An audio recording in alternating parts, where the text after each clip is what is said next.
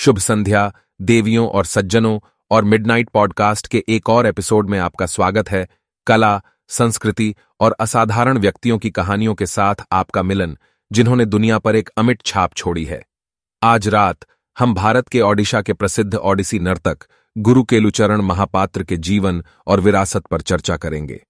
एक सच्चे दूरदर्शी और अपनी कला के स्वामी गुरु केलुचरण महापात्र ने न केवल ओडिसी नृत्य शैली को पुनर्जीवित और लोकप्रिय बनाया, बल्कि अपनी कलात्मक प्रतिभा से अनगिनत लोगों को प्रेरित भी किया।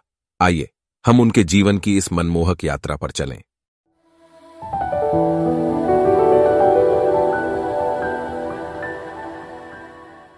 एट जनवरी 1926 को भारत के ओडिशा में जन्मे केलुचरण महापात्र ने अपनी नृत्य यात्रा एक युवा लड़के के रूप में गोटीपुआ प्रदर्शन से शुरू की, जो एक पारंपरिक नृत्य शैली है, जिसमें लड़के महिलाओं की तरह कपड़े पहनकर भगवान जगन्नाथ की स्तुति करते हैं। इस प्रारंभिक प्रदर्शन ने नृत्य और आध्यात्मिकता से उनके गहरे संबंध की नींव रखी।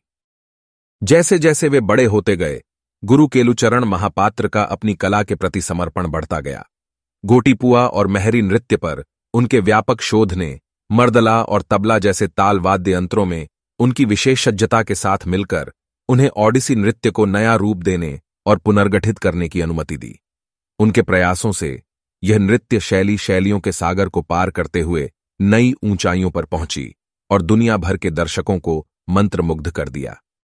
गुरु केलुचरण महापात्र ने अपनी पत्नी लक्ष्मीप्रिया महापात्र, जो खुद एक प्रतिभाशाली नर्तक हैं, और उनके बेटे रतिकांत महापात्र के साथ मिलकर 1993 में सृजन की नींव रखी।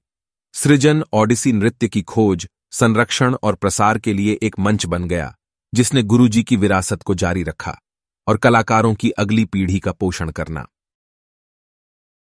नृत्य की दुनिया में गुरु केलुचरण महापात्र के योगदान पर किसी का ध्यान नहीं गया।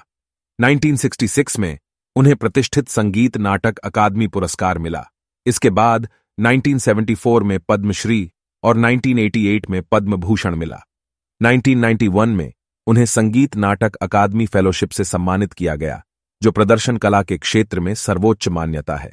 भारत। अंततः 2000 में वह देश का दूसरा सबसे बड़ा नागरिक पुरस्कार, पद्म विभूषण प्राप्त करने वाले ओडिशा के पहले व्यक्ति बने। जब हम गुरु केलुचरण महापात्र के जीवन और शिक्षाओं पर विचार करते हैं तो आइए हम उनके कालजयी शब्दों को याद करें। असली नृत्य को अविभाजित अस्तित्व की भावना व्यक्त करनी चाहिए। ताकि एक दर्शक महसूस कर सके कि वह देखी गई चीज़ से अलग नहीं है। ये शब्द एक अनुस्मारक के रूप में कार्य करते हैं कि कला में दूरियों को पाटने, आत्माओं को जोड़ने और सीमाओं को पार करने की क्षमता है। और इसके साथ, हम गुरु केलुचरण महापात्र को समर्पित आज रात के एपिसोड का समापन करते हैं।